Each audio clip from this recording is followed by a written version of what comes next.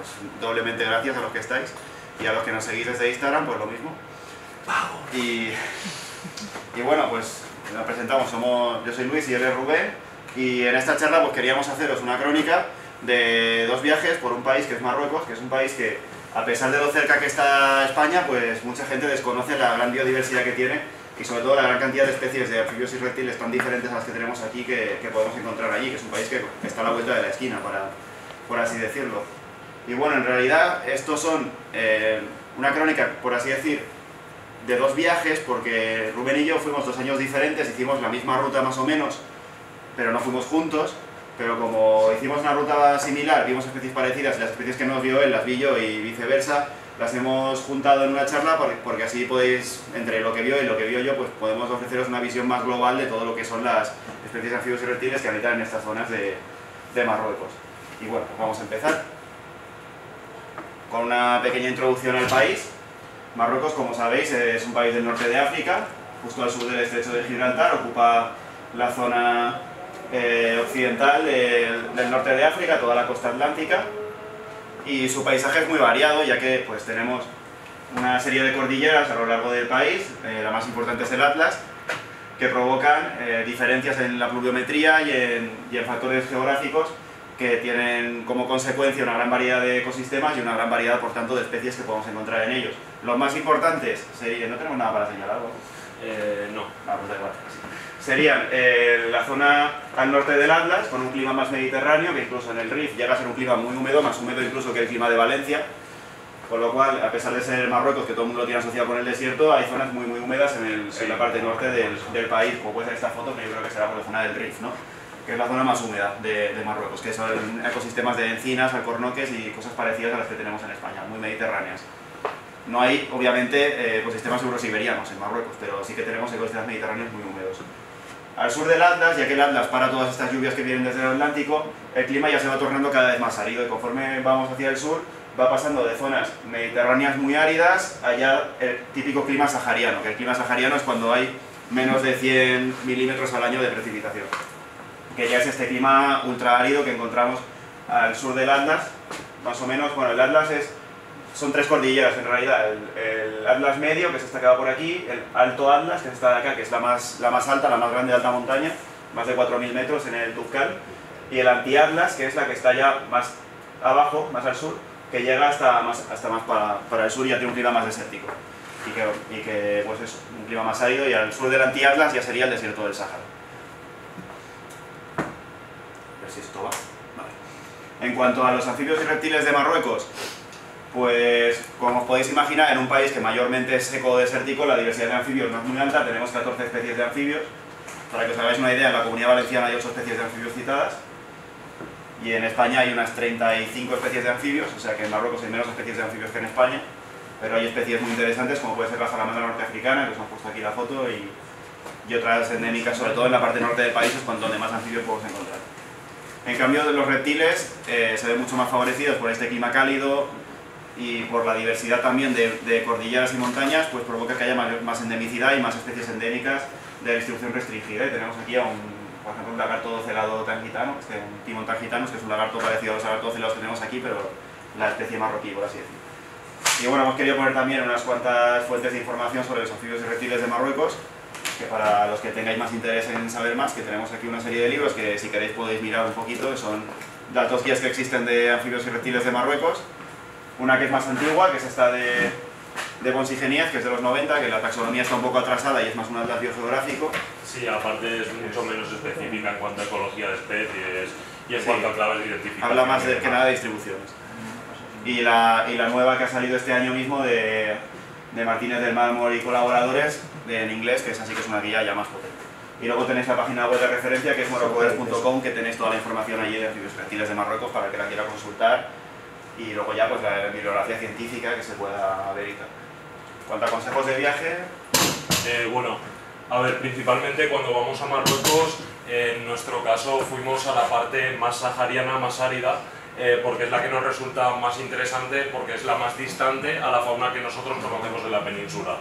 Eh, como consejos es ir preparados para el tipo de clima al que nos vamos a enfrentar, en el sentido de que pues, debemos de llevar muchísima agua, es fundamental llevar mucha agua, o sea, llega a hacer mucho calor, eh, llegamos a pasar de los 50 grados en los dos viajes, ¿vale? Eh, luego eh, ropa que nos cubra del sol y que nos cubra también del aire. Cuando se levanta aire, como son llanuras, el aire es bastante fuerte, arrastra arena y es muy incómodo tener que estar por el aire sin llevar la cara cubierta, sin llevar gafas, o sea, mínimo gafas de sol, gorra, para poder protegernos de estas cosas, ¿vale? respecto al alojamiento, en Marruecos hay dos tipos de hoteles. Hay hoteles de lujo que están destinados al turista y que suelen tener un precio bastante alto. Y luego hay hoteles eh, más destinados a la gente local, que es en los que nosotros nos estuvimos alojando y que se pueden encontrar por un precio bastante, bastante bajo. Luego también, eh, bueno, deciros que el cambio de la moneda es aproximadamente 10 dirhams, equivaldría a un euro, ¿vale? Lo que hace que al cambiar nosotros nos salga muy rentable ir a un país como Marruecos, nos resulte todo muy barato. Luego llevar un buen coche, un coche amplio que nos permita cargar agua, cargar material, cargar equipaje y que si puede ser que no nos vaya a dejar tirados.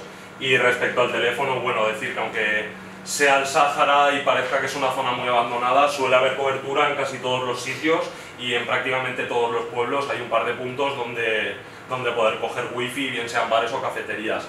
Por lo tanto, eh, está bien cogerse una tarjeta de teléfono si creéis que la vais a necesitar, pero en el caso de nuestro viaje no cogimos y tampoco la echamos en falta. Cogimos todos teléfono para tener Google Maps, que fue lo que utilizamos para movernos por ahí. Vale, el cómo buscar anfibios y reptiles en Marruecos, eh, tendríamos varias opciones. Eh, la primera es planificar bien nuestro viaje. Tenemos que mirar que no nos coincida nuestro viaje con la luna llena, ya que como hace mucho calor, los reptiles suelen tener una actividad muy nocturna y si tenemos luna llena se van a ver muy expuestos a posibles depredadores y tal, entonces no, no vamos a ver una gran actividad de reptiles durante la noche cuando en realidad es lo que, lo que nos interesa.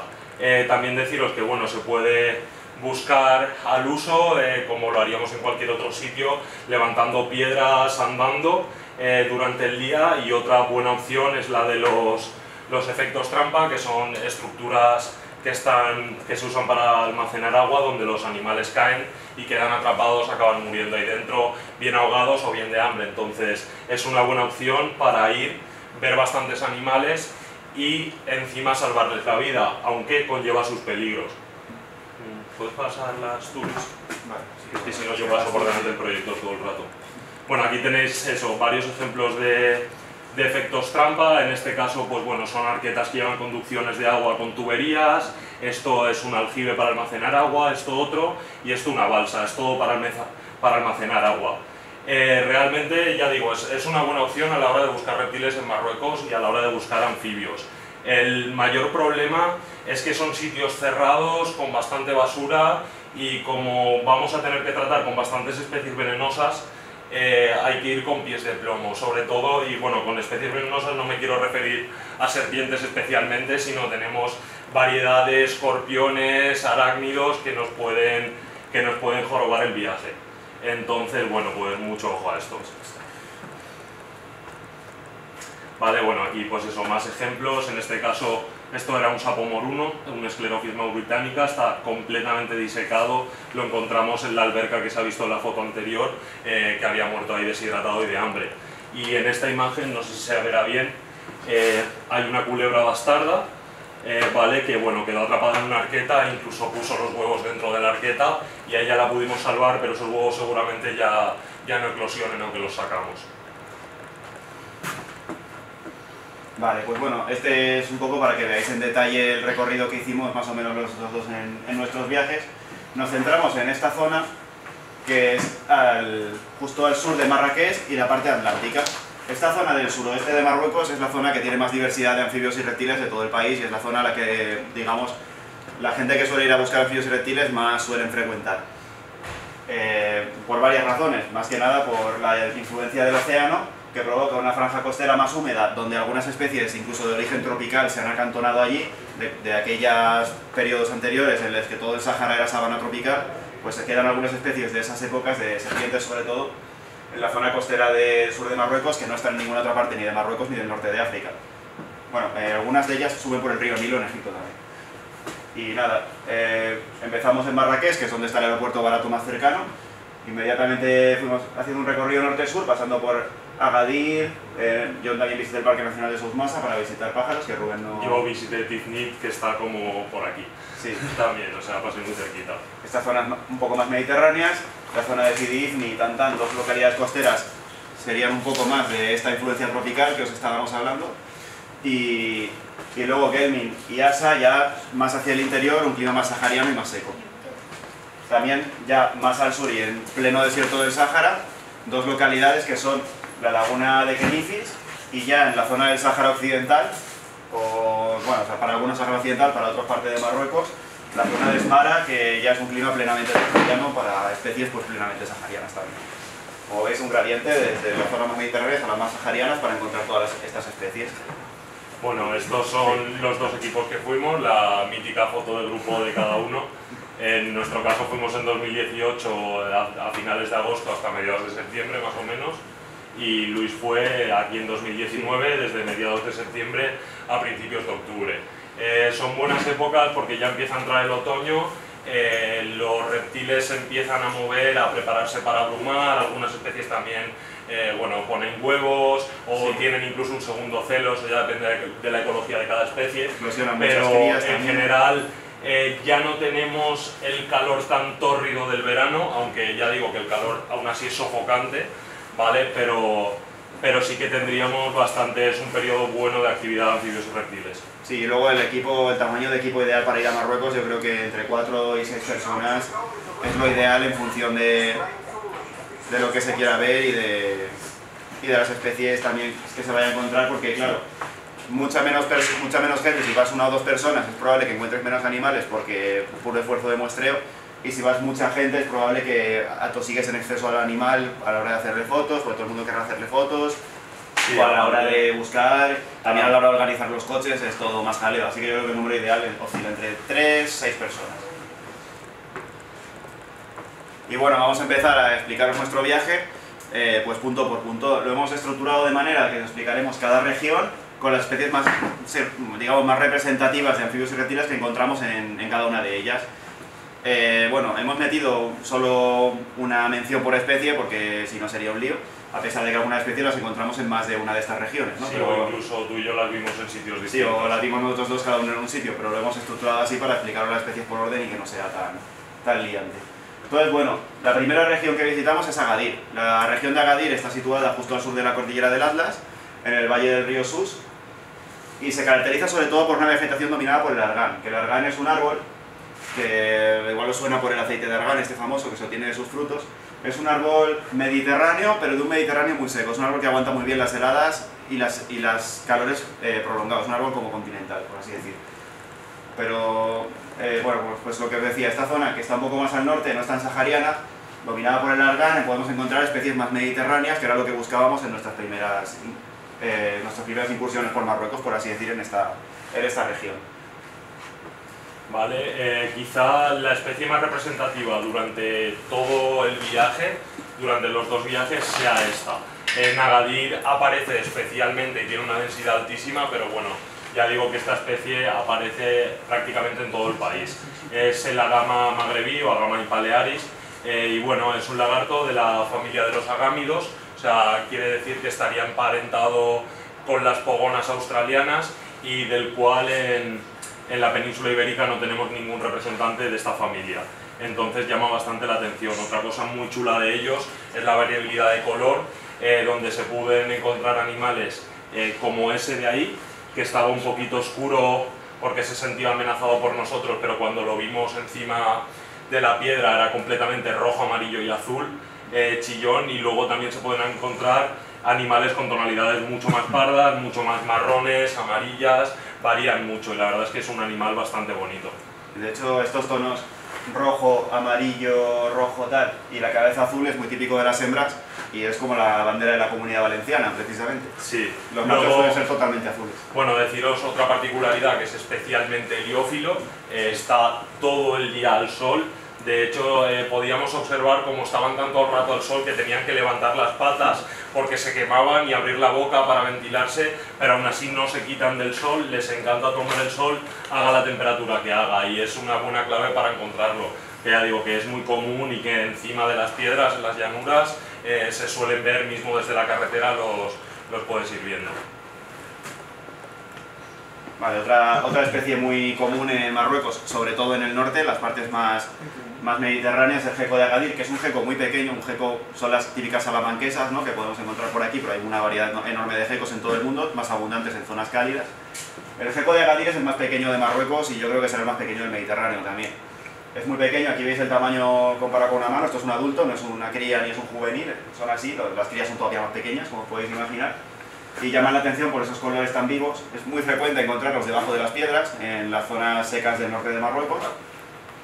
Y, bueno, son muy delicados, cuesta mucho trabajar con ellos, por así decir, porque hay que tener mucho cuidado de que no pierdan la cola, que la tienen además más llamativa para atraer ahí la atención de los depredadores y que ataquen esa parte.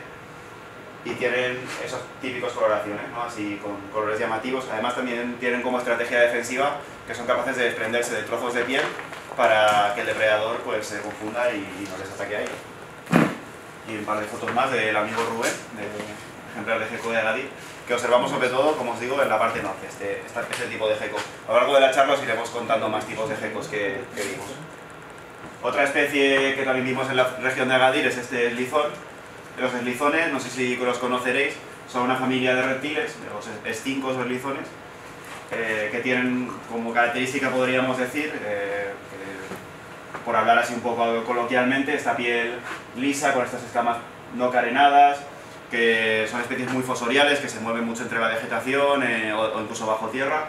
Y este eslizón, el Calquides mionecton, el eslizón costero, es especialmente fosorial, se, se, mueve bastante por bajo la arena, bajo la tierra, y lo, también lo podemos encontrar en la región de Agadir, bajo las piedras. Se parece mucho al eslizón ibérico, que tenemos aquí en Valencia, por ejemplo, es un poco más grande y con estas bandas doradas a lo largo del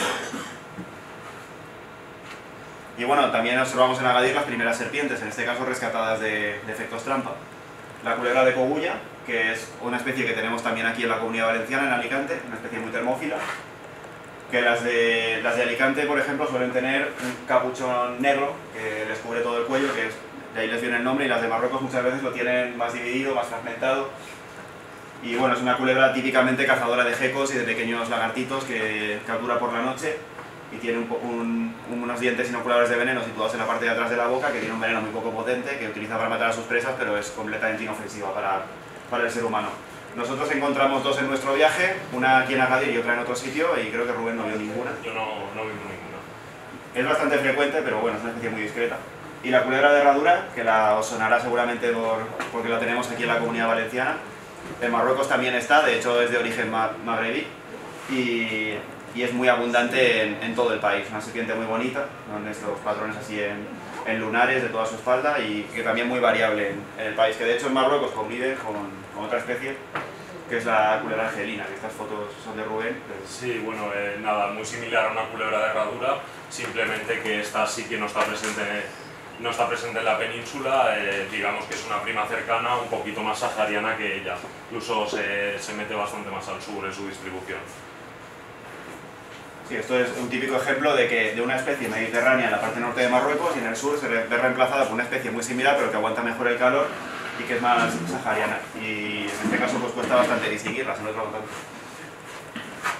Vale, este seguramente sea el ofidio insignia de cualquier viaje herpetológico que se haga a Marruecos. Durante todo el viaje esta serpiente va a estar apareciendo, o al menos en nuestro caso ha sido así. Nosotros creo recordar vimos más de 25 ejemplares y Luis también pasó los 17. 17, bueno. Entonces, eh, como digo, es muy común, está distribuida por todo el país eh, y en la, zona, en la zona sur se ve muchísimo. Es una serpiente muy esbelta, muy muy rápida y muy bonita. Eh, deciros de ella que tiene un diente inoculador de veneno en la parte trasera de la boca, no es peligrosa para el ser humano, pero sí que nos podría causar una mordedura, algo así como una avispa, quizá un poquito más. Eh, tampoco hay mucho más que decir de ella, más que son muy bonitas, eh, son bastante diurnas, Eh, de hecho, eh, durante nuestro viaje fue de las pocas serpientes que encontramos de día activas, porque sí que encontramos más serpientes de día, pero estaban, estaban en pausa, no estaban en actividad, y estas no, estas durante el día eh, mantenían su actividad, están activas y bueno, se pueden, se pueden ver prácticamente por cualquier zona. Eso es, sí, la verdad es que al final casi, casi podrías hasta cansarte de ellas si no fueran tan, tan curiosas, porque aparecen por todas partes y cuando estás buscando otras serpientes a veces te aparecen estas que son, como, como dice Rubén, una serpiente diurna, ojos grandes, cazadora de, lagartijas, lagartos, algún pájaro, y emparentada con la culebra bastarda que tenemos en España, misma familia. Y bueno, a pesar de, lo que os comentaba del clima árido de estas zonas del sur de Marruecos, podemos encontrar algunos anfibios. Incluso eh, algunas ranas, la ranita meridional, que es una especie de, rana arborícola, eh, que sonará porque también la tenemos en España, eh, se puede encontrar en estas zonas en zonas súper secas, que cualquiera imaginaría encontrarse una, una, rana trepadora allí, pero ahí ya se las puede encontrar al amparo de cualquier charquito, pueden criar y, y allí se las encuentra. Suelen tener estos patrones así de color oscuro, la banda negra típica de las ranitas estas del género Hila, que las meridionales la tienen un poco más larga que las ranitas meridionales de España. Y otro anfibio muy representativo del sur de Marruecos, esta costa oeste, el sapo de Bronjesma, que es este sapo así con tonos verdes, reticulados, que es endémico y solo se puede encontrar en Marruecos, en todo el mundo. Es el único sitio donde se le puede encontrar. Y nosotros vimos unos cuantos, en, sobre todo atrapados en trampas de caída, no vimos ninguno fuera de trampas de caída. Vale, este es el sapo moruno, el Sclerophyis británica. Eh, este anfibio seguramente sea, eh, bueno, es un bufónido y es el bufónido seguramente el más común de Marruecos. Pero sí que es verdad que de Marrakech hacia el sur cuanto más avanzamos hacia el sur, más escaso va a ser. En nuestro caso solo logramos ver este ejemplar que estaba atrapado en un pozo de cantación en, en la zona de Gelmin y bueno, eh, ya digo, es, es, un anfibio muy común. Eh, nuestro viaje no iba muy dirigido a anfibios, entonces eh, le echamos una, una, foto rápida y, y para adelante, pero se, se puede llegar a encontrar tan al sur. Otra cosa muy curiosa eh, y que tiene, o sea, que hay mucha diferencia de Marruecos con la península ibérica son los arácnidos. En Marruecos tenemos las, eh, todas las familias de arácnidos representadas y eso es algo que en la península ibérica no hay, incluso donde en la península ibérica podemos tener unas cuatro especies de, escorpiones, por ejemplo en Marruecos tendremos más de 15. Eh, entre ellos decir que algunos eh, son muy venenosos y por lo tanto muy peligrosos y también bastante abundantes, se ven por muchos sitios. Entonces, por ejemplo, este que es un ejemplar de escorpión negro de cola gruesa, es un escorpión bastante peligroso, es el segundo más venenoso del mundo y una picadura de este animal sí que nos podría llegar a matar en menos de 7 horas. Entonces es un animal con el que hay que tener bastante cuidado.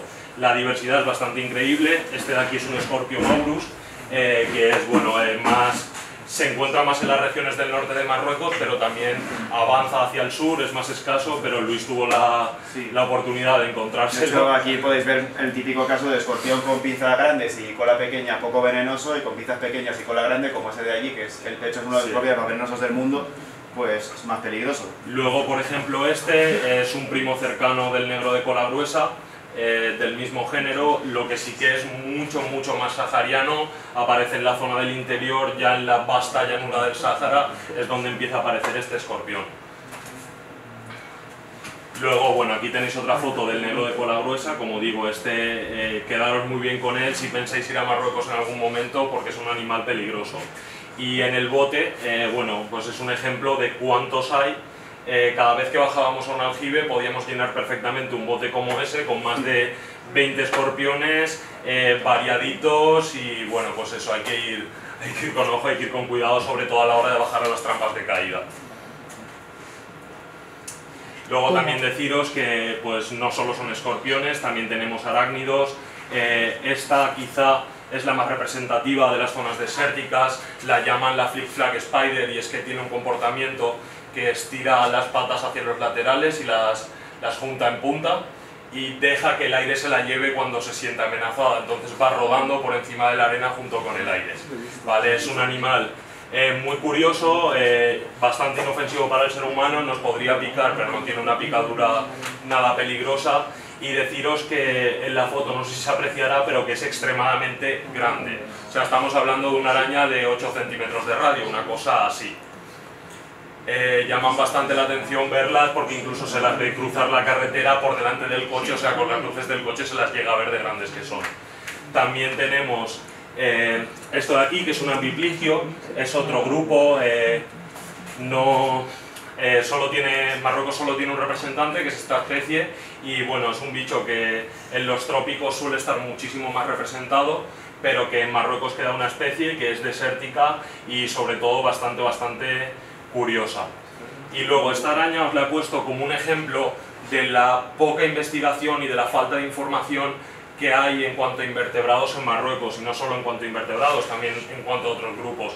Pero para que os hagáis a la idea, esta araña la fotografié en la costa atlántica de Marruecos y la cita más al oeste del mundo que había antes de la mía estaba en Argelia. Estamos hablando de que la encontré como a 2.000 kilómetros de donde se supone que llega. Vale, eh, bueno, en nuestro caso, en el primer día, este fue el premio gordo, eh, quizá una de las víboras más esquivas de Marruecos y más difíciles de encontrar. Eh, se suele encontrar atrapada en efectos trampa, pero aún así es bastante, bastante difícil de ver y es una de las serpientes que cualquier herpetólogo que baje a Marruecos va a estar deseando verla. Deciros de ella que está en cuanto a vipéridos, pues segura es la primera o la segunda, el primero o el segundo vipérido más venenoso de África, ¿vale? Por lo tanto tiene una mordedura letal, muy peligrosa, eh, hay que tener mucho cuidado con ella, pero al mismo tiempo es una víbora de gran porte, mucha envergadura, eh, llega al metro y medio, son gordas, eh, la cabeza muy grande y es un bicho, un animal muy bonito, las escamas muy carenadas, y bueno, que nos, nos dio la sorpresa el primer día en, dentro de un pozo y, y, estuvo, estuvo genial. Deciros que bueno, le gusta la zona, eh, aparece eso, en la zona de Agadir, le gusta la zona mixta con acacia, con piedra, vive en roquedos, pero ya digo que encontrarla en libertad en el campo sin valernos de efectos trampa es muy, muy difícil. De hecho, nosotros estuvimos también buscando esta especie bastante, no la vimos al final, encontramos una muerta en una zona de pozos parecida a la que la encontró Rubén, muy cerquita, y encontramos una atropellada, recién atropellada por la noche, que fue una lástima, la verdad. Y en la final no conseguimos ver esta especie, así que una excusa para volver en nuestro caso. Y bueno, después de Agadir, eh, a mí que también me gustan bastante los pájaros, y con un colega de los que iba en el viaje también le, le mola el tema, así que decidimos hacer una paradita de, de mediodía, de una mañanita, en el Parque Nacional de Sous Massa, que es uno de los humedales más importantes de toda la costa marroquí, para intentar ver algunas aves pues, que tenemos en Marruecos y que en España no están. Aquí veis estas urracas, que os parecerán las mismas que tenemos por aquí, pero si os fijáis es la variedad norteafricana de la urraca, que tienen una zona desnuda de piel detrás del ojo de color azul, que es una cosa diferente a las urracas de aquí. Eso como una cosa curiosa. Otros, otras especies que vimos en Sosmasa estaba lleno de mochuelos muy comunes, eh, similares a los de aquí, pero de un tono un poco más clarito. Otra vez las urracas y las veis más de cerca. Y bueno, la especie más interesante para nosotros era el chacra del Senegal, que es este pájaro, que es un pájaro, es un pájaro parecido a lo que aquí en España serían los arcaudones, si los conocéis, que son estos pájaros cazadores, que cazan pequeños, bueno, pequeños, grandes invertebrados y pequeños reptiles sobre todo. Y es un pájaro bastante bonito y que además eh, es curioso porque canta como un mirlo, así como un pájaro cazador no suele tener esas ese canto tan, tan melódico, por así decir, pues la chacra sí que lo tiene. Y también un ejemplo de una familia de pájaros que está sobre todo en, África subsahariana y que en Marruecos tiene a este representante como una especie de relicto tropical, como podrían ser algunas serpientes que os comentaré más adelante. Y también aquí vimos algunos reptiles, como esta Acanthodatilus margaritae, que es una especie que se describió hace un par de años, y que es de este género Acanthodactylus, que es el mismo género de la lagartija corirroja que hay aquí, en, por ejemplo, en las dunas de las, del Saler tenéis esta lagartija típica de las arenas, que hay muchas, muchas especies de este género en Marruecos que tampoco vamos a entrar en profundidad. Por y nada, de camino se va, vamos viendo más cosas. Aquí me tenéis con una culebra bastarda que sacamos de un, de, una, de un paso por debajo de una carretera que era caída y no podía salir. Esta especie también la tenemos en España y de hecho este macho pues es muy parecido en coloración a los que podríamos encontrar por aquí, por, la propia huerta de Vétera la tenéis, esta serpiente. Eh, las ardillas estas, que son ardillas de tierra, ardilla moruna, en Marruecos es muy abundante. En la zona norte sobre todo, luego ya en zona más sahariana desaparecen, pero en la zona norte, en cualquier zona con rocas, las encontráis por el día, activas, eh, puedes ver perfectamente su comportamiento y una cosa bastante chula de, ver. Y aquí tenéis una pareja de halcón borní, que fue una cosa también que me gustó bastante ver en una torre eléctrica, estaban ahí los dos, que es una especie de halcón que también típico del norte de África, o más bien de toda África, puedes encontrarlo, y en la península ibérica pues no está. Y muy bonito, son muy blancos y muy espectaculares. Y llegamos al siguiente destino del viaje, que es la zona de Sidi Ifni. Que Sidi Ifni es una ciudad que fue colonia española, de hecho. Y allí todavía hay gente que habla español. Sí, de hecho, bueno, nosotros encontramos un caso de un hombre que nos decía que era hijo de la bandera española todavía. Todavía tiene gente que se gente considera más española que marroquí en Ifni. José, qué grande. y bueno, en Ifni eh, el paisaje dominante es la chumbera. Eh, de hecho puedes encontrar, como veis en esta foto, extensiones y extensiones y extensiones de chumberas. De hecho, ahí en los mercados ves que la gente solo vende chumberas y se venden chumberas entre ellos porque no tienen otra cosa prácticamente. O sea, tú allí lo ves y es todo chumberas. ¿Qué pasa con la chumbera? Que es una planta de origen americano, en verdad no es una planta marroquí, pero se introdujo en épocas históricas, vieron que era rentable y se cultivó. Y es una planta que la verdad es que favorece bastante la presencia de reptiles porque gracias a sus espinas les sirve como refugio y en las zonas de chumberas se pueden encontrar especies muy interesantes.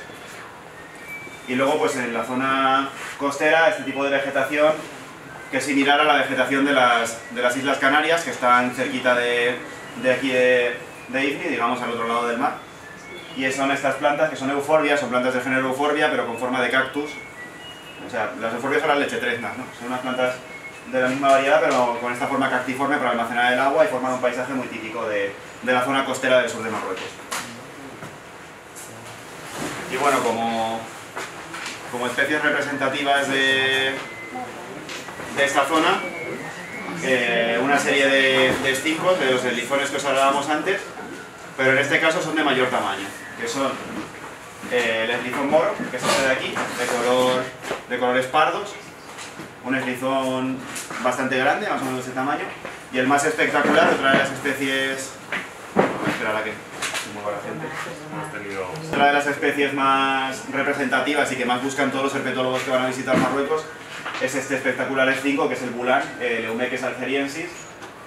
Como podéis ver, un, lagarto bastante grande, con estos tonos medio naranjados, grisáceos, que, que se encuentra típicamente en las zonas mediterráneas de Marruecos y que en estas zonas un poquito más al sur es igual algo más difícil de ver porque por ejemplo en el viaje de Rubén no tuvieron suerte bueno, vimos, vimos tres ejemplares pero por desgracia los tres muertos dos ahogados en alberca y otro seco muerto de Nosotros también vimos muchísimos muertos en los aljibes, una lacra para ellos de hecho.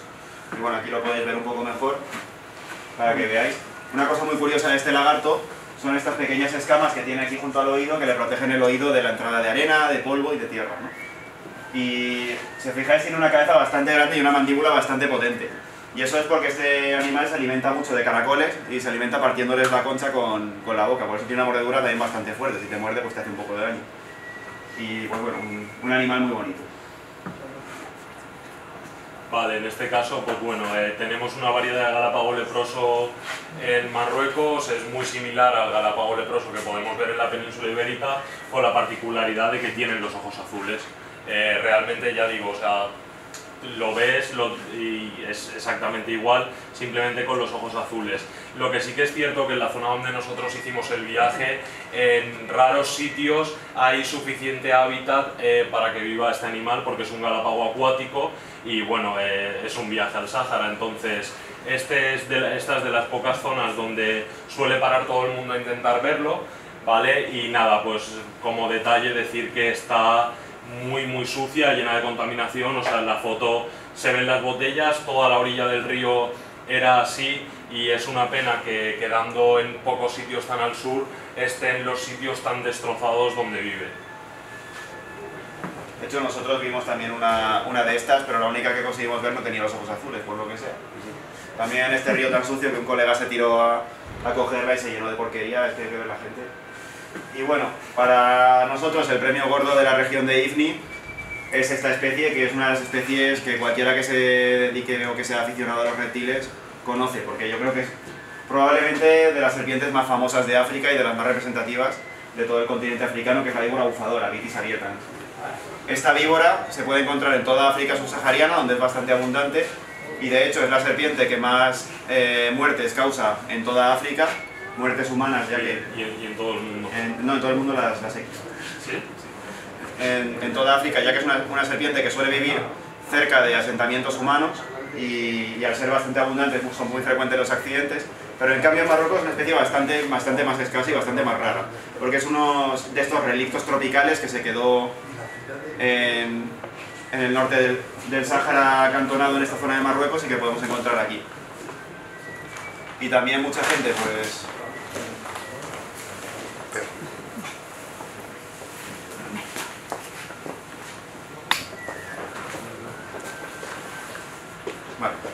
Pues mucha gente baja a Marruecos para intentar ver esta especie y muchos se van sin verla. nosotros tuvimos la suerte de que nuestra primera noche en carretera, buscando animales en la carretera con el coche por la noche, encontramos este enorme adulto, una, una hembra adulta de víbora bufadora, que la verdad es que estaba muy tranquila y se dejó hacer fotos y todo, ni siquiera intentó atacar, pero bueno, mucho ojo con esta especie porque es una especie muy venenosa, tiene un veneno citotóxico muy potente que, que causa destrucción de tejidos y, y hay que tener cuidado con ellas. Y bueno, nosotros también conseguimos ver algunos ejemplares juveniles, que los tenéis aquí, que tienen un- unos colores un poco más vivos que el, que el ejemplar adulto. En total vimos en Sidi Ifni, además de la hembra adulta, perdón, que estoy un poco resfriado, además de la hembra adulta, eh, tres ejemplares juveniles y otros tres, por desgracia, juveniles también eh, atropellados. Aquí podéis ver también un poco eh, más en detalle a, a la víbora bufadora adulta. Como veis, una serpiente muy grande, muy potente, muy robusta, un cazador de emboscada con una de las mordeduras más rápidas de todas las serpientes y también uno de los colmillos más largos de todas las serpientes, pariente de la famosa víbora del Gabón. La cabeza muy grande y en Marruecos se alimenta sobre todo de, de grandes mamíferos como pueden ser conejos, liebres y, y unos gerbos muy grandes que hay allí que son unos roedores que se llaman la rata obesa. la- que de hecho está lleno todo de... Sí, sí, tienes un- De hecho está todo lleno de sus agujeros y de sus madrigueras y donde, donde se refugia tanto esta serpiente como otras serpientes de, esta zona. Y bueno, nuestro siguiente destino del, del viaje, la zona de Welmin o Gelmin, nadie se pone de acuerdo de cómo se pronuncia. Que es una zona ya más al interior, más seca. Como podéis ver, unos paisajes más áridos, más desolados y que aún así tiene una, una diversidad petológica bastante, bastante grande. Bueno, aquí en esta foto estamos en la playa porque digamos que la zona de Welmin pues empieza desde una zona costera más al sur de la de Ifni y va- vas hacia adentro y allí te encuentras la ciudad y, otra zona. Esto es Playa Blanca, que es una zona bastante paisajística y también con bastante diversidad de reptiles y ahí estábamos ahí buscando al atardecer antes de empezar la, la búsqueda nocturna. Y bueno, eh, la primera especie que he puesto de esta zona es esta, que es el camaleón común. En realidad el camaleón tampoco es que sea una especie típica de, de esta región en particular, pero nosotros lo vimos en esta región, atrapado en, una, en un aljibe de hecho, que es bastante raro encontrarlos atrapados, pero vimos este ejemplar. El camaleón está por todo Marruecos, y de hecho es más abundante seguramente en el norte. Nosotros lo vimos aquí, típico de cualquier zona de matorral de Marruecos te lo puedes encontrar, y es mucho más abundante que las poblaciones que tenemos aquí en, en la península ibérica, que de hecho todas vienen de introducciones desde Marruecos, porque es un animal que como llama tanto la atención, pues allí la gente pues muchas veces los coge, los vende, los, los comercia con ellos y, y han sufrido algunas poblaciones por eso. Nosotros vimos este atrapado, le hicimos unas fotos, que de hecho me acuerdo que la zona donde lo vimos estaba llena de garrapatas, en Marruecos las garrapatas son una plaga, hay que tener mucho cuidado con ellas porque a veces parece hasta que el suelo se mueve hacia ti de todas las que hay y por eso no le hicimos demasiada foto a este camaleón porque ya Sí, que... además son particularmente rápidas. Sí, sí, son- las peninsulares son no son tan rápidas y de verdad es muchísimas. Lo único bueno que tienen es que son tan grandes que las ves. Sí. Bueno, otra, otra especie de esta zona muy bonita, la, la culebra diademada del Magreb, mucha gente dice que es la serpiente más bonita del norte de África. Nosotros vimos unos cuantos ejemplares atrapados en trampas de caída, que de hecho uno de ellos lo vimos porque este de aquí, más, más grande, porque un, un marroquí vio que estábamos buscando serpientes y aunque no entendíamos nada de lo que él decía, ni él entendía nada de lo que nosotros decíamos, nos indicó unos cuantos pozos que había cerca de su poblado y, y gracias a eso encontramos esta, a esta serpiente. Muy típico, los ojos blancos, que le dan esta, esta mirada tan curiosa, y lo de diademada por la, por la mancha negra esta que tiene así entre los ojos que parece como una diadema, ¿no? Y luego tiene también como dos filas de escamas encima de, de la boca, que eso también es típico de este género de, de serpientes. Aquí veis un poco mejor este ejemplar, que como veis una serpiente pues muy bonita, ¿no? mucho, mucho contraste, con esta coloración anaranjada, rosácea, que, que la verdad es que es una de las serpientes también que más busca la gente de allí, también muy nocturna. Y nosotros tuvimos la suerte de ver cuatro ejemplares en, en nuestro viaje. Aquí los amigos creo que vieron uno.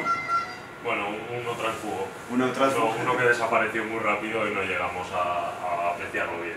También una cosa curiosa de las Sphaerosophis es que tienen, no son venenosas, pero tienen una saliva algo tóxica y cuando te muerden, que de hecho son muy agresivas y nos mordió esta a todos varias veces, se te queda como un escozor en la, en la herida, que no pasa de ser una pequeña molestia.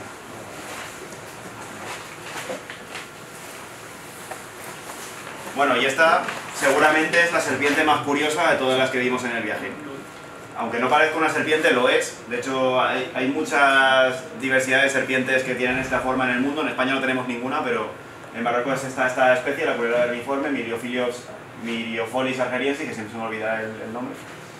Parece un gusano, pero es una serpiente, esto es una serpiente. Tiene este tamaño, esto es un adulto, no crecen más. Muy alargada, muy finita y muy pequeña, que parece un hilo. De hecho, la encontramos atrapada en un, en un pozo y yo no sé ni cómo mi amigo que bajó a verlo la, consiguió ver. Y no se la confundió con, con una lombriz. Y es una serpiente que tiene esta forma porque está adaptada a vivir bajo tierra y alimentarse de larvas y de hormigas. Y por eso tiene esta forma casi sin ojos, totalmente de este color rosado, porque ella nunca sale a la superficie y es una serpiente bastante, bastante difícil de ver. Nosotros la vimos porque por casualidad este ejemplar se cayó a, a ese pozo y allí no tenía ningún tipo de tierra donde esconderse.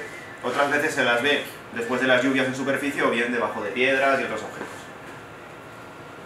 Vale, quizá el, el ofidio más llamativo de la región de Gelmin es la cobra norteafricana, eh, ¿vale? Es un reptil que es bastante escaso porque tiene una amenaza muy clara que es el tema de encantadores de serpientes. Durante siglos se le ha capturado y se le ha exhibido en plazas a cambio de dinero, eh, hacen espectáculos con ellas, las encantan y bueno, también las capturan para venderlas a coleccionistas de otras partes del mundo que pagan dinero eh, por tener un trocito de fauna africana en su casa sin importar lo que, lo que esto conlleva la fauna. ¿Vale? Eh, deciros que nada, es una, es una cobra, una serpiente ultra venenosa, el único lápido que podemos encontrar en Marruecos. Y bueno, es bastante grande, bastante robusta, llega prácticamente al metro ochenta. Nosotros tuvimos la suerte de encontrar una muy muy grande, de un metro sesenta aproximadamente, y deciros que bueno, que pese a que es una serpiente muy peligrosa, es una serpiente que evita mucho el conflicto. De hecho, bueno, se levantan, se despliegan, bufan, pero realmente no suelen atacar. Eh, aún así, por ejemplo, no podríamos cogerla con la mano desnuda, seguramente nos, nos mordería obviamente, pero bueno, es, ya digo, no es, no es especialmente difícil a la hora de trabajar con ella porque coge la, pos- la posición defensiva y a partir de ahí eh, se deja hacer bastante dentro de lo que cabe. Deciros que bueno, eh, cualquiera que baje a Marruecos, eh, este es uno de sus objetivos. En la mayoría de los casos de gente que va a ver reptiles a Marruecos eh, quieren ver la cobra eh, porque ya digo que es una, es una serpiente muy insignia del país, muy insignia del sitio, a la que la gente también la teme mucho y por desgracia las matan muchísimo, pero, pero bueno, a nosotros nos, nos gustan vivas y fue en mi caso el, encuentro del viaje, o sea, además nos apareció el último día cuando ya no esperábamos ver nada de relevancia para el viaje, eh, apareció en un pozo que ya habíamos mirado unos días antes, o sea, nos apareció la segunda vez que lo miramos y fue la, la gran sorpresa de nuestro viaje. Y bueno, ya veis que un animal extremadamente llamativo.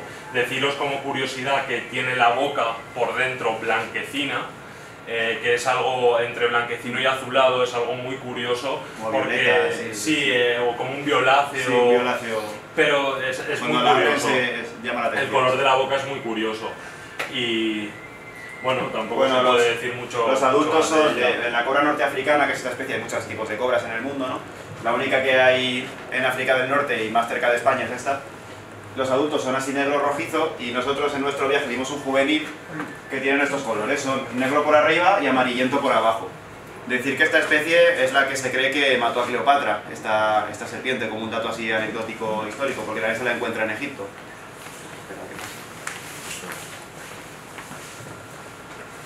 Y bueno, eh, de hecho uno de sus nombres es Aspid Cleopatra también. Esta, esta serpiente pues eso, tiene un veneno neurotóxico muy potente, eh, potencialmente mortal, la mayoría de mordeduras sin tratar son mortales.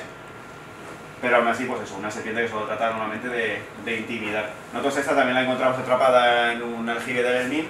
Aquí podéis ver el ejemplar tal y como estaba dentro del pozo, no se ve muy bien porque hicimos la foto con el móvil desde arriba, pero tal y como estaba atrapado antes de que bajáramos a por ella, con mucho cuidado, con, utilizando material especializado de ganchos y tal, para introducirla en una bolsa y con cuidado sacarla y afuera pues hacerle un par de fotos y, y soltarla para que vuelva a su hábitat. Y para mí también la, el, el, mejor encuentro del viaje, yo soy un apasionado de las cobras y, y para mí era una especie que tenía que ver si, si, iba a Marruecos. La mayoría de la gente que va no la ve, pero nosotros en nuestros viajes tuvimos suerte y, y conseguimos disfrutar de, pues, de esta especie, digamos, legendaria.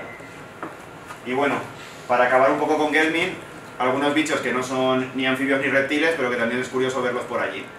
Este, que no sé lo que pensaréis que es, puede parecer un ratón o puede parecer una musaraña, es una musaraña elefante, eh, que la musaraña elefante norteafricana se le llama sarfid, y es una especie muy curiosa porque es una familia de mamíferos que solo se encuentra en África, dentro del mundo, y está emparentada estrechamente con los elefantes, precisamente, a pesar de tener este aspecto de, de micromamífero. Y nosotros vimos esta que cruzó la carretera en una de esas noches que estábamos por allí buscando, y un animal muy curioso y muy bonito de, de encontrar, también por lo raro que es. Los gerbos, como este de aquí, este grupo de, de roedores que se desplazan a saltos, también también muy típicos de, de ver en, en, todas las zonas eh, del desierto del Sáhara y muy curiosos porque pegan, para lo pequeños que son, que son así, pegan unos saltos que pueden pasarte por encima perfectamente. De hecho, muchas veces cuando parabas el coche a la luz de los faros les espantaba y o bien se quedaban quietos, como este, que se quedaba, que se quedaba quietecito y le pudimos hacer la foto, o bien se iban pegando unos botes tremendos y se perdían Nosotros vimos bastante, la verdad, una especie bastante, bastante abundante y, y una presa potencial de muchas de las serpientes que hay por aquí. Luego, ya para, con insectos, los olífugos, que son este tipo de arácnidos que tienen unas mandíbulas muy potentes para cazar a sus presas, muy rápidos, también muy abundantes en el desierto, son un tamaño algo así, este, este de aquí. No son venenosos, pero la mordedura es bastante potente. Yo de hecho a este lo intenté coger detrás de la cabeza así para desplazarlo a otra zona mejor para hacer la foto y, vi que son capaces de mover la cabeza completamente para atrás para morderte, así que no recomiendo intentar tocarlos si vais por allí, disfrutad de ellos y ya está. Y bueno, y luego este escarabajo, que también es eh, bastante grande y bastante común en algunas zonas, y tiene la particularidad de que es capaz de excretar un ácido muy potente, así que puede parecer un bicho inofensivo, de hecho hay gente que llega a Marruecos y le parece un bicho bonito y lo coge y tal, y hay que tener mucho cuidado porque si no sabes eso te tira el ácido y te puede hacer sí, bastante... Además son muy llamativos, sí. tienen como 5 centímetros, negro azabache, puntos blancos, o sea es un animal muy llamativo que mucha gente comete el error de cogerlo y bueno, no, no debe ser agradable que te rocíe. No. En nuestro viaje pues bueno también nos apareció esto, que fue una gran sorpresa, es un chacal dorado eh, la foto es meramente testimonial porque bueno, el avistamiento duró poco más de 25 segundos, nos cruzó la carretera por delante del coche, eh, paró un poquito, se quedó mirándonos, un amigo le pudo tomar esa foto y continuó con su viaje. Y también nos apareció eh, como especie muy curiosa este, este erizo, el que yo os tengo que confesar, del que no me enteré mucho porque eran como las 4 de la madrugada y yo estaba durmiendo ya en el coche porque no podía más, pero bueno, mis compañeros eh, lo disfrutaron bastante y ya veis que es un animal bastante llamativo y bastante bonito. Eh, nada que ver con, bueno, nada que ver, nada que ver con un erizo ibérico en el sentido de que tiene las orejas muy desarrolladas, el morro mucho más también y es bastante, bastante llamativo. Sí, esta especie de hecho es el, el erizo del desierto, el nombre científico es Paraequinus aethiopicus por si queréis buscar más. Nosotros no lo vimos, por desgracia. El chacal se nos cruzó uno muy rápido que apenas nos dio tiempo a verlo. Sí que vimos el gato montés africano, pero no le, no le pudimos hacer foto. Y luego nada, las ardillas que ya hemos comentado antes, ardillas morunas y ratas obesas que aparecen durante todo el paisaje conforme avanza el viaje.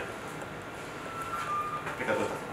Bueno, eh, esta es una zona bastante al interior de Gelmín, es la zona del Anti-Atlas, bueno, y el Borg, eh, el Borg es una localidad que realmente es muy muy pequeñita, no tendrá más de, de 20 casas, pero es una, es una buena parada para ver ciertas especies de la herpetofauna marroquí. Y luego, pues bueno, aquí un ejemplo del antiatlas, eh, es la cordillera montañosa de las que van paralelas, es la más sahariana de todas. Ya veis que ya tiene un paisaje bastante árido, bastante devastado y bueno, eh, también es un buen sitio para buscar anfibios y reptiles, exceptuando que hay bastante inclemencia climática en cuanto a aire y a calor. O sea, esta yo es la zona donde más calor pasamos con diferencia, es algo exagerado, o sea, no, no, sé cómo representar tanto calor en una charla, realmente. Y nada, deciros pues bueno, que aparecen especies muy icónicas y que merece la pena ir a verlo, aparte de que, por ejemplo, eh, allí aquellos un amanecer que son preciosos y es una región que es famosa porque dicen que tiene uno de los cielos más bonitos del mundo. Eh, cuando es de noche. Siempre que no hay tormenta de arena, claro. Claro, se, veía, se veía toda la Vía Láctea a simple vista y tal, o sea, algo muy, muy espectacular. Hay que tener mucho cuidado a mediodía, nosotros el termómetro nos llegó a marcar 53 grados, el del coche, tú pisabas el suelo y te quemabas los pies como si cuando pisas la arena de la playa en verano, pero descalzo, pues con zapatillas, da igual. De hecho, a un amigo se le derritieron las dos botas y tuvo que comprarse otras zapatillas, muchísimo calor. Pero aún así hay animales que, que lo soportan y que incluso les gusta. Eh, sí, bueno, aquí tenéis más ejemplos de paisaje y esta foto le he puesto un poco a modo anecdótico, no sé si lo podéis apreciar, pero es una cabeza de una cabra con gafas colgada en una valla. Nosotros interpretamos que igual ese no era el mejor sitio de la zona para pasear, así que cuando veamos estos avisos mejor, mejor alejarse, pienso yo. Eh, una especie muy, muy icónica de esta zona, eh, de hecho más en la costa no la vamos a encontrar, es el, el lagarto de cola espinosa. Es un lagarto bastante grande, con una cola muy robusta, también ultra termófilo, ultra heliófilo, todo el día al sol, da igual el calor que haga, ellos encima de las piedras. Y nada, eh, sobre todo muy llamativos porque hay muchísima variación de color entre ellos, ejemplares que aparecen naranjas, amarillos, con más negro, con menos, incluso tonos algo más marrones. Y nada, eh, bastante grandes, eh, puede llegar a unos 35 o 40 centímetros más o menos y muy muy llamativos. Sí, de hecho, una cosa curiosa, este de aquí es de, los que vimos nosotros. Nosotros lo rescatamos de un pozo y cuando lo sacamos del pozo el color que tenía era negro azabache, completamente negro. Y bastó con ponerlo un poquito al sol, que ya os digo que hacía más de 50 grados, y empezó a ponerse cada vez más naranja, más naranja, más naranja, hasta que acabó siendo así. O sea, estos colores llamativos se ve que son un poco como los camaleones, pueden cambiar de color y, ir eh, adquiriéndolos cuando se ponen al sol. Y se puede ver perfectamente encima de las piedras tomando el sol a, a más de 50 grados y ahí están, deben tener algún tipo de mecanismo de resistencia. Yo sospecho, esto ya no sé si es una cosa científica, pero como estos animales comen vegetales... Ya, para un poco. Sí. No, no sé lo que, pueden las campanas, tú seguís. como no sé lo que suenan aquí las campanas, creo que son las... No, pero Son las 48 y media. Ah, vale. Vale, sí. Bueno, lo que estaba diciendo, que estos animales comen vegetales los pocos vegetales que pueden encontrar en estos sitios. Y, y, de hecho seguramente el calor les sirve para ayudar a fermentar y a digerir estos vegetales que, comen. Es una cosa que yo sospecho y que debe tener algo que ver con...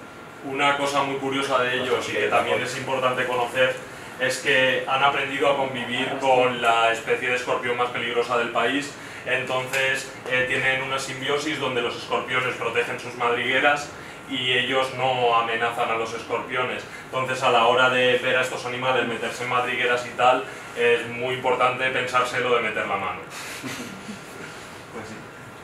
Este, bueno, en este caso, pues es un ejemplar juvenil, cuando son pequeñitos son así, y luego, pues los más llamativos, más grandes, los adultos. Sí, de hecho esas colas espinosas las utilizan también para bloquear la madriguera y que no entre los depredadores.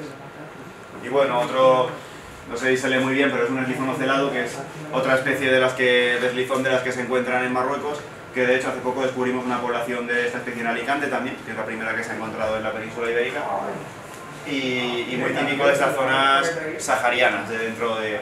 Esta foto está tomada a 53 grados, ahí está el animal, que lo rescatamos de un pozo y, bueno, eh, lo hicimos la foto rápido y lo soltamos obviamente porque para el bienestar del animal pues no es muy bueno estar a esas temperaturas tanto rato, a pesar de que los lagartos de cola espinosa pues parece que les da igual. Eh, quizá este sea el mayor motivo ofídico por el que una persona baja a buscar anfibios y reptiles a Marruecos. Es la víbora más característica y más icónica del país y aparte es un animal eh, que Marruecos es el único país donde se puede ver que sea un país seguro para el turismo y donde nos podamos mover con comodidad. Eh, también están otros sitios, pero son algo más complicados a la hora de viajar. Eh, deciros que la mayor particularidad es que tiene unas escamas deformadas eh, encima de los ojos que tienen forma de cuernos. gran decepción me llevé al ver una atropellada, tocarlas y ver que son blandos. Eh, yo pensaba que eran unos cuernos rígidos, así como curiosidad, y no, realmente cuando los tocas eh, van de un lado para otro, son blanditos.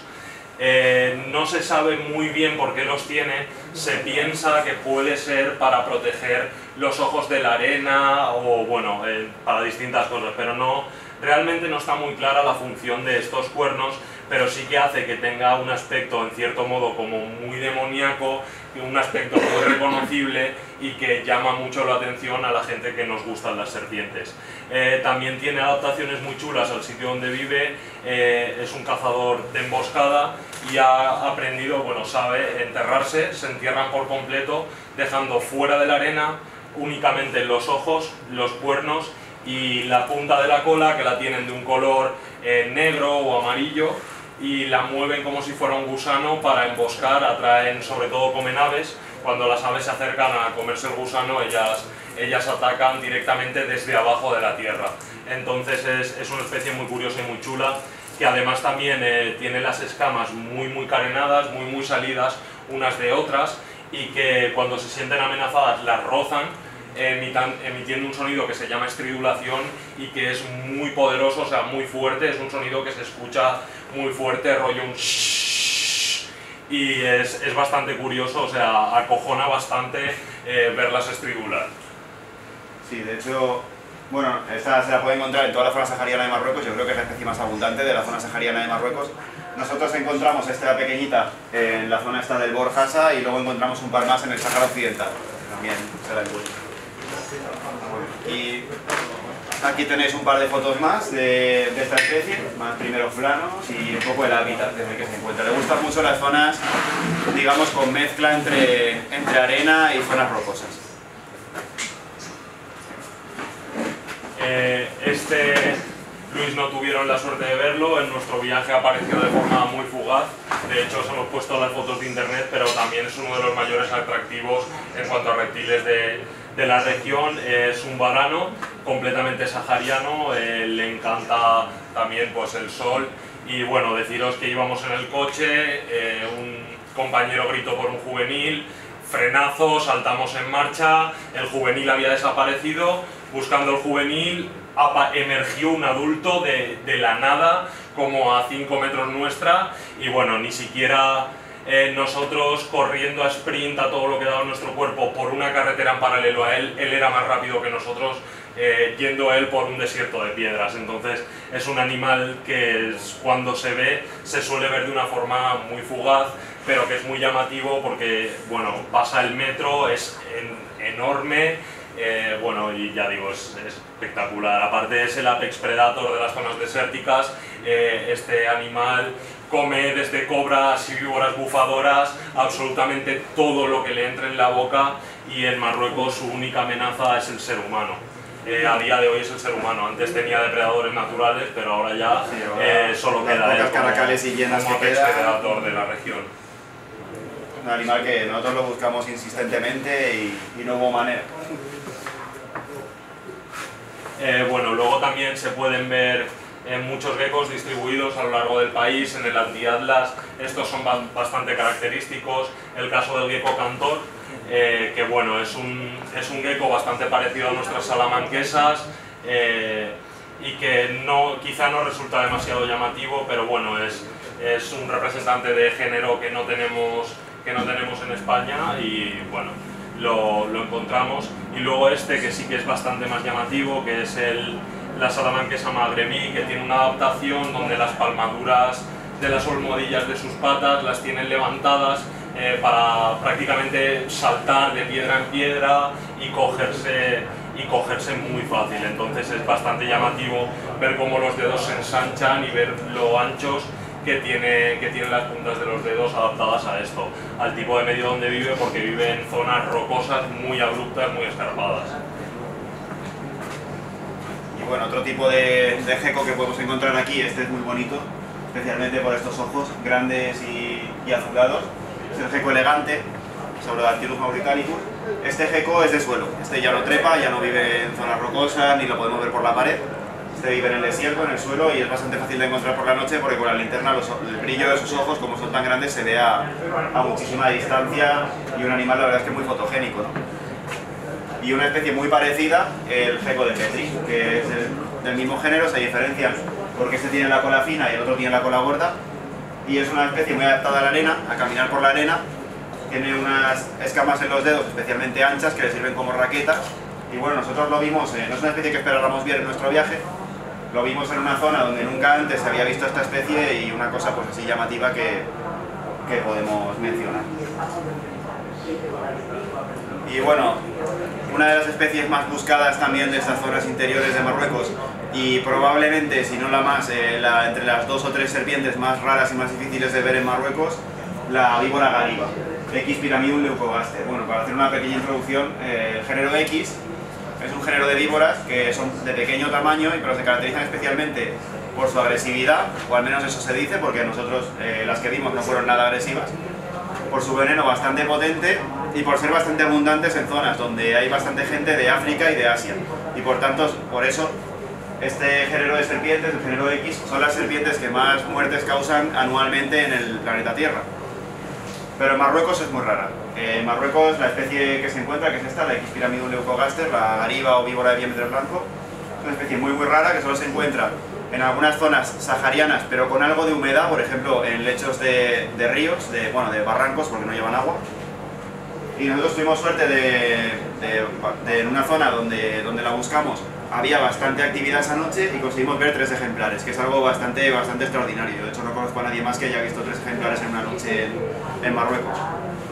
En mi caso, pues eh, la verdad es que es mi víbora favorita de todas las que hay en Marruecos, sobre todo por estos ojos tan grandes que tiene, tan llamativos, que le dan ese aspecto tan, tan característico.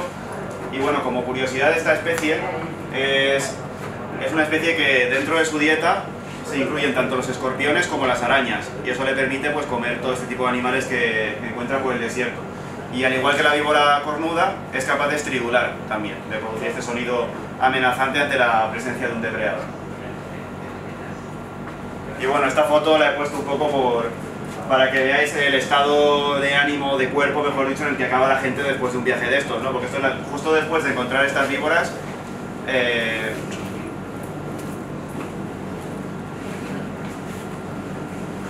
decidimos ir a un hotel que estaba como a 500 kilómetros de distancia.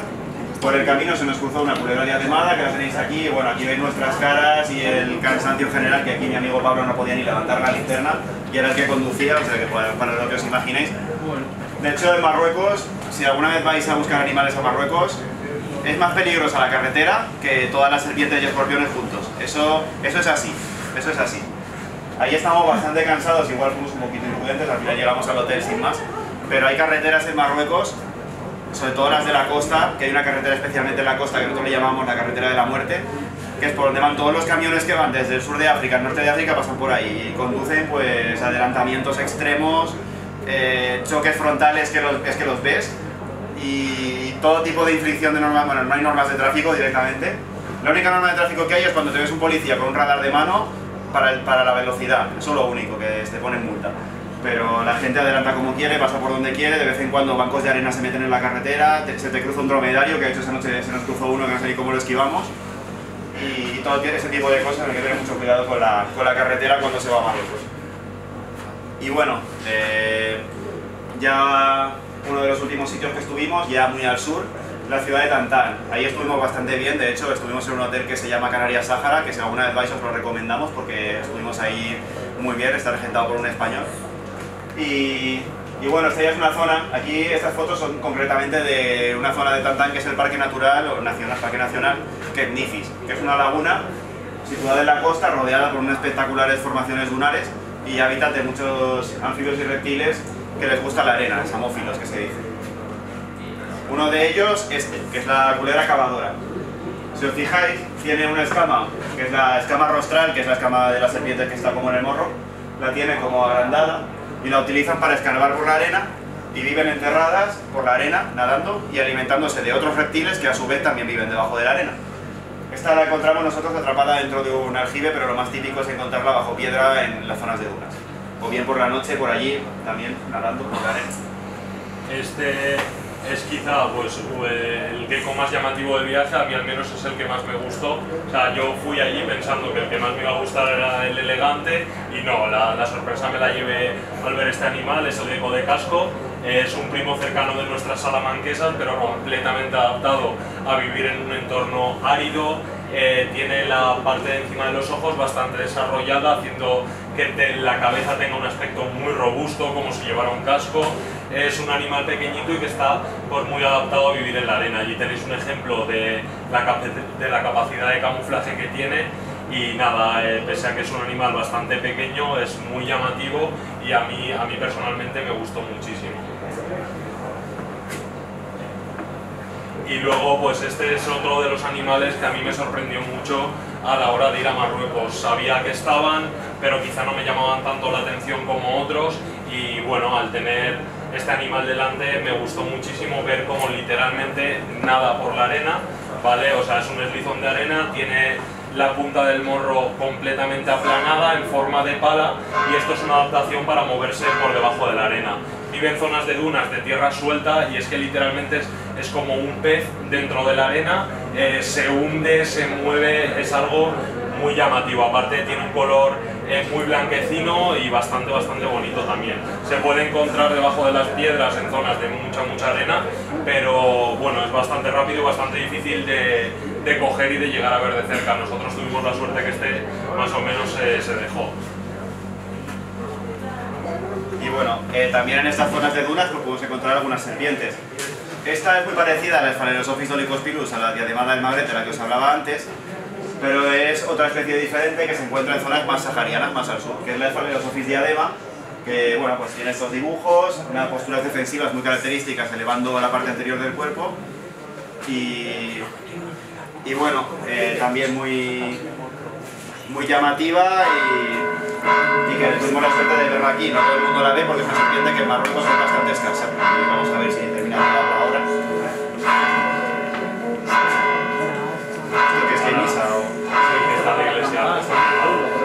Esta también es bastante, bastante icónica, bastante icónica de las zonas muy arenosas del Sáhara.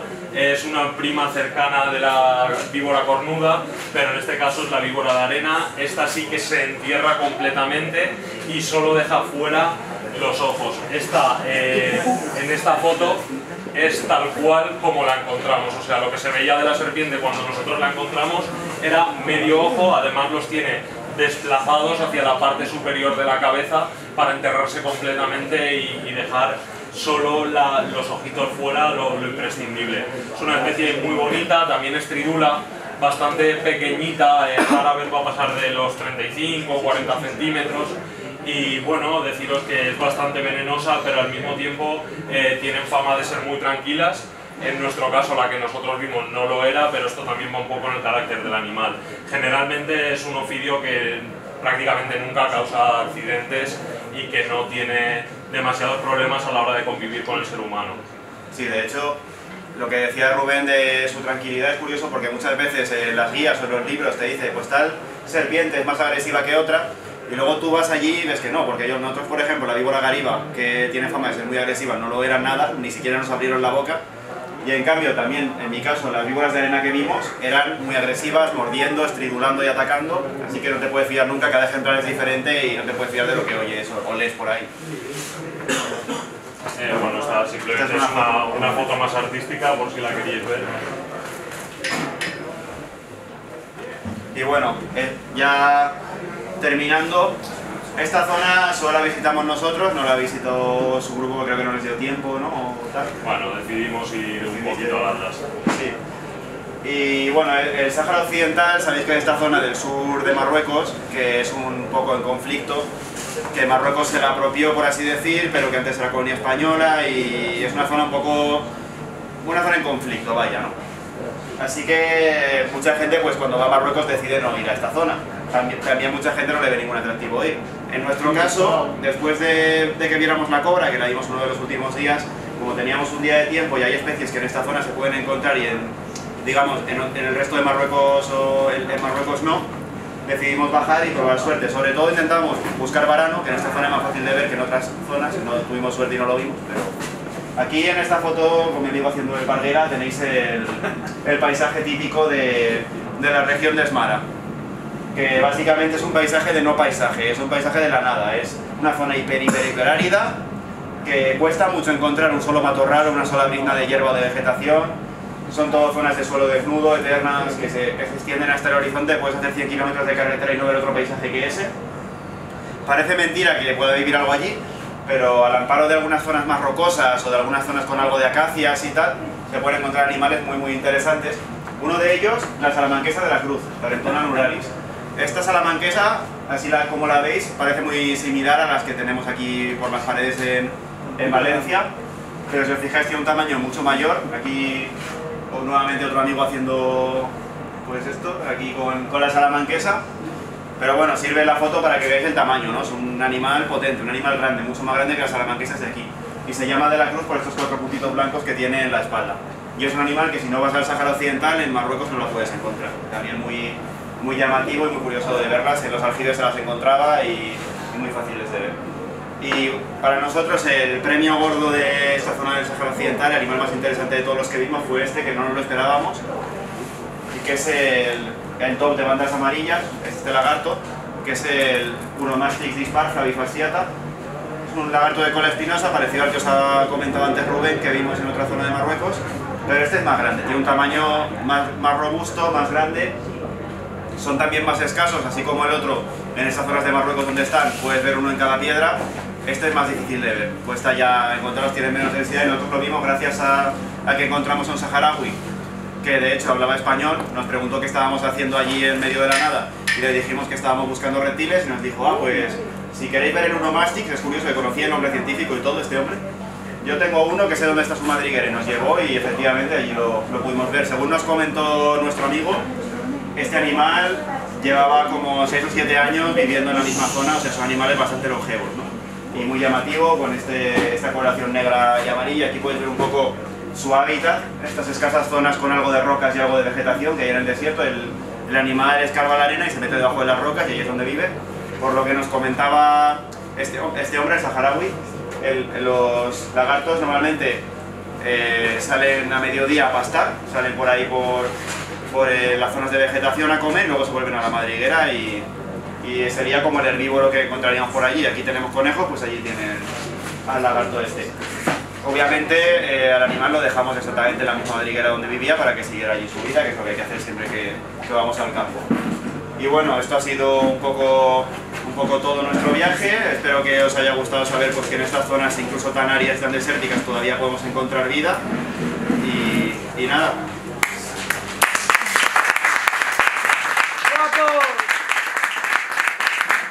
si tenéis alguna duda, alguna pregunta, Eh, la víbora més dolenta que ha en este poble sitio.